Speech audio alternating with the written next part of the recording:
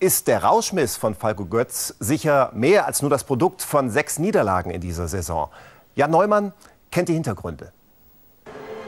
Falco Götz, der Name, das Gesicht des Erfolges, der Garant für die Rückkehr Holsteins in glanzvolle Zeiten, so der Plan.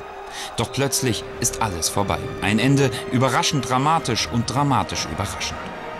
Am Samstag verliert Kiel in Dresden mit 0 zu 3 nach desolater Vorstellung.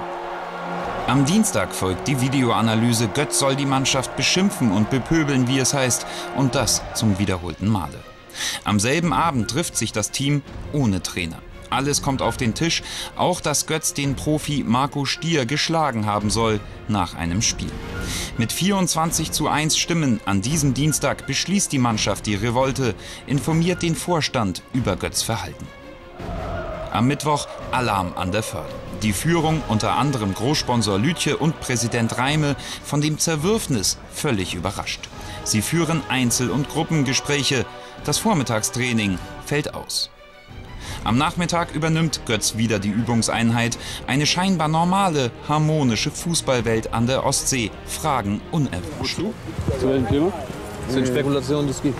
Ach, über Spekulation brauchen wir uns nicht behalten. Gar nicht. Überhaupt, gibt überhaupt gar keinen Anlass. Mehr Fehleinschätzung geht nicht. Am Abend die Entscheidung. Götz wird sofort beurlaubt. Allen Beteiligten wird verboten, über die Hintergründe zu sprechen. Schon am Donnerstag übernimmt Thorsten Fröhling die Mannschaft. Gestern dann die fristlose Entlassung von Falco Götz. Ein unrühmlicher Abgang an der Kieler Förde.